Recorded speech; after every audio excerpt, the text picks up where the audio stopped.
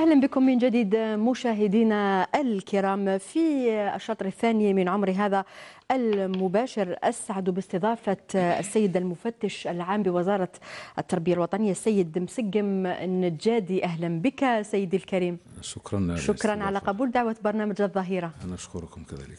سيدي اليوم في مواضيع كثيرة نود أن نناقشها مع سيادتك في تخص قضايا تعليمية وتربوية في في نفس الوقت.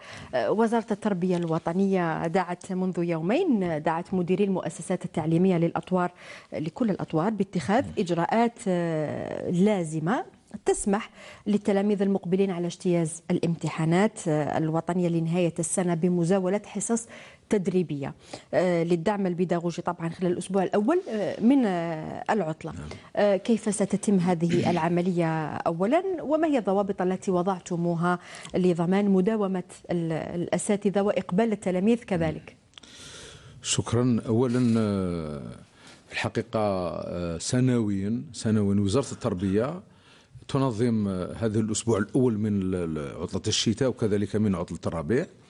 تخصص هذا الأسبوع بالدرجة الأولى للتلاميذ المقبلين على امتحانات المدرسية لتدريبهم على أنماط الامتحانات وكذلك تحضيرهم نفسيا لهذه الامتحانات. ويمكن كذلك إذا كان فيه خاصة عرفنا أن في بعض المؤسسات كانت وقعت فيه بعض الاختلالات واضطرابات يمكن للأساتذة بالاتفاق مع التلاميذ القيام باستدراك الدروس المتأخرة مع العلم أن وزارة التربية قد قامت بتنظيم برنامج بداية الفصل الأول لمعالجة التأخر إن وجد. نعم. لكن هذا الأسبوع الأول يخصص للمراجعة بالأفواج بين التلاميذ مع بعض. كذلك حل تمارين آه تمارين آه تشبه آه للأنماط الموجودة في دليل الامتحانات. وهذه القاعدة منظمة. السادة مدير المؤسسات وكذلك الأعوان وأساتذة مجندون لإجراء هذه العملية. نعم. سيد مسجن بعض المؤسسات التعليمية شهدت نقصا من حيث التأطير خاصة في بداية الموسم الدراسي. وفي بعض الأحيان هذا المشكل لا يزال قائما. لماذا؟ وما هي الإجراءات لحل هذه المعضلات؟ هي في الحقيقة لما لما قمنا ب بالمسابقة الوطنية. نعم. آه ما يخفاكش سيدتي أن آه الالتحاق بالمنصب يخضع إلى إجراءات منظمة من طرف الوظيفة العمومي الموظف مجرد تأتيه يأتيه الاستدعاء له مهلة للالتحاق بهذه. ويمكنه ويمكنه آه عدم الاستجابة لهذا لهذا الاستدعاء.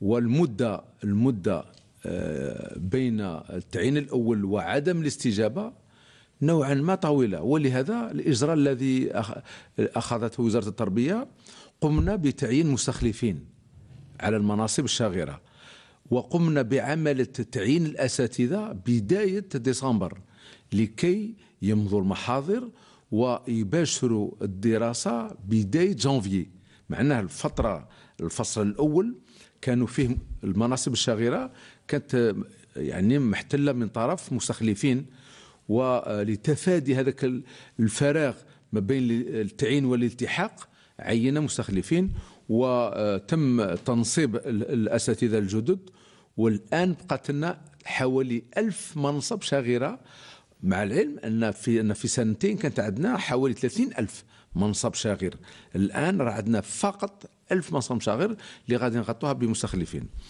وهذا عدم الالتحاق كما اشرت إليه في بعض الأحيان ناتج عن اولا عطل مرضية في بعض الأحيان صعوبة إيجاد الأستاذ المستخلف خاصة في مادة الرياضيات والفيزياء اللي نشهد فيها عجز. هذه ألف مثلا ألف منصب شاغر الأغلبية منها من مادة الرياضيات والفيزياء. ولذا كانت صعوبات لبعض المؤسسات لإيجاد المستخلف لكن نهاية هذه نهاية هذا الفصل استقرت الأمور ما دام بالأرضية الرقمية التحقوا الأساتذة الذين هم في القوائم الاحتياط التحقوا استلموا الاستدعاءات مضاوا المحاضر التنصيب وسيباشرون الدراسة بداية جونفي إن شاء الله. إن شاء الله أه، سيد مسقم اليوم وزارة التربية الوطنية ومنذ وقت باشرت إصلاحات جذرية كبيرة عميقة أه، إصلاحات الجيل الثاني. هذه المناهج التعليمية التي يرجى منها الكثير التي يرجى منها الارتقاء بالمدرسة الجزائرية بمقاييس عالمية تحافظ على الخصوصية الجزائرية. ولكن التلميذ وولي أمره آه، محتاران آه، بين ضرورة ضرورة الارتقاء والنجاح في الامتحانات. والشكوى من صعوبة المناهج الدراسية. آه، هنا أود أن نقيم ولو تقييم أولي للفصل الأول من نعم. هذا الموسم الدراسي.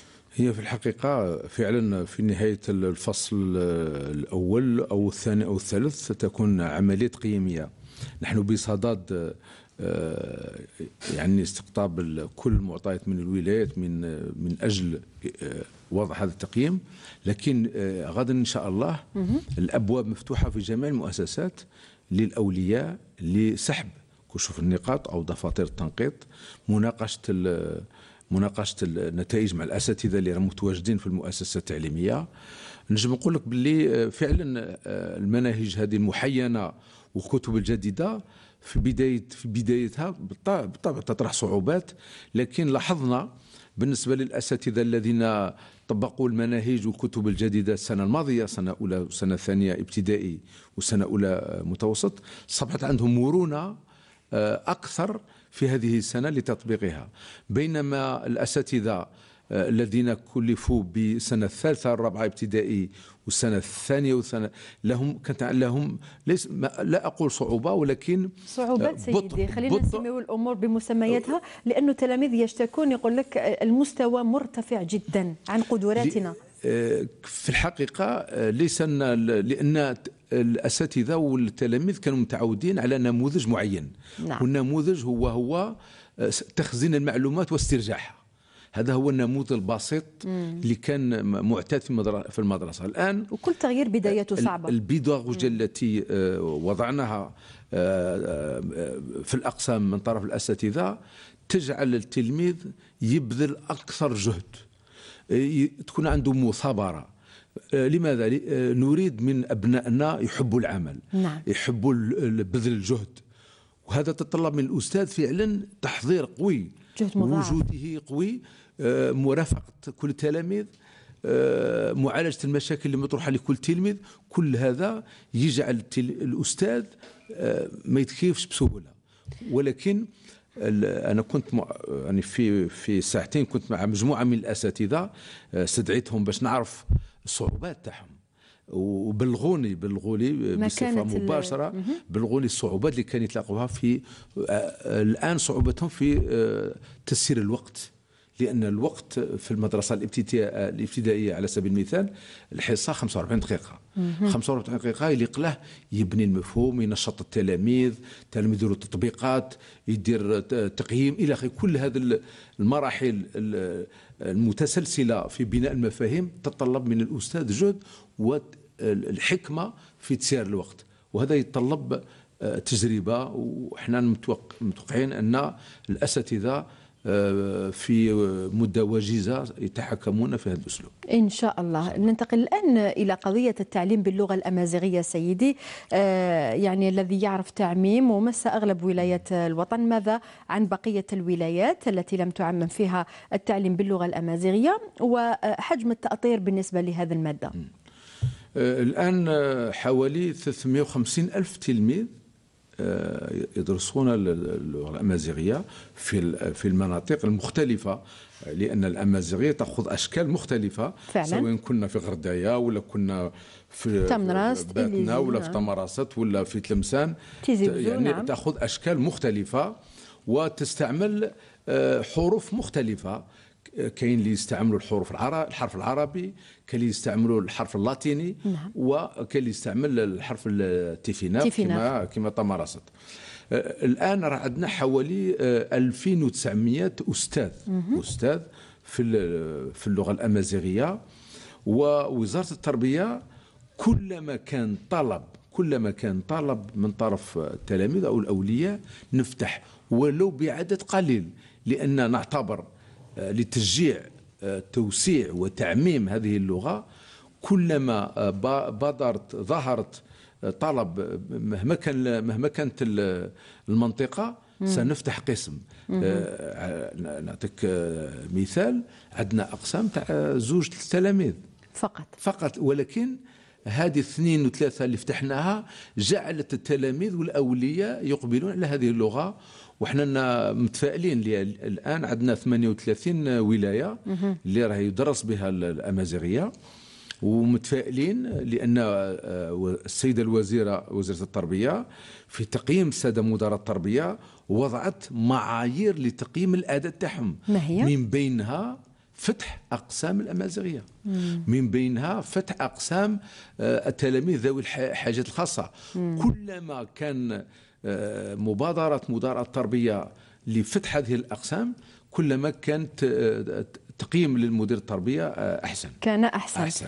آه، نعم على كل أن وزارة التربية الوطنية آه، تتكيف آه، مع آه، المعطيات الجديدة بالنسبة للمحيط الداخلي أو المحيط الخارجي كذلك ومع الفضاءات التي يتفاعل معها التلميذ سواء كانت هوياتية أم ترفيهية.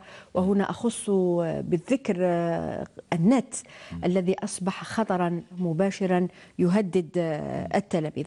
طيب في هذه النقطة وزارة التربية أصدرت مؤخرا تعليمة تخص تحسيس التلاميذ بمخاطر آه، النت.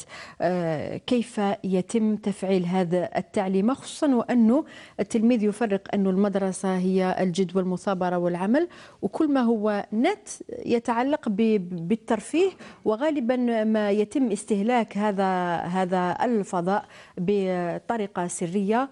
وما نجم عنه من حالات انتحار للأسف لدى بعض التلاميذ نتيجة لعبة على النت.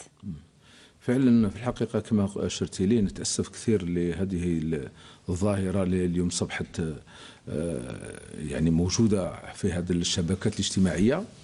آه، إحنا وزارة التربية آه، لو كان نشوفوا المناهج الدراسية كلها إما تشمل نص إما لها آه، آه، يعني خطاب نعم. حول هذا ال هذا ال يعني المجال. الجديد ولكن هذه التعليمة التي جاءت آه، صدرت بعد هذه يعني هذه المشاكل اللي وقعت بالنسبة لبعض الأطفال أو مراهقين جعلناها جعلنا منها منها محور أساسي يعبر جميع نشاطات المدرسة.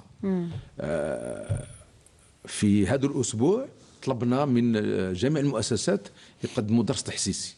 ولكن طلبنا من جميع الأساتذة في كل مرة يأخذوا بعض الدقائق من حصصهم اللي لفت الانتباه وكذلك آه، توضيح المشاكل اللي يطرحها الانترنت أو الشبكات الاجتماعية.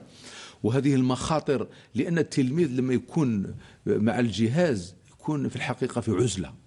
فعلا. وهذاك العالم تاع العزلة يجعله يفقد اليقظة ويفقد كل المعالم اللي تسمح له باش ينجو من هذه المخاطر.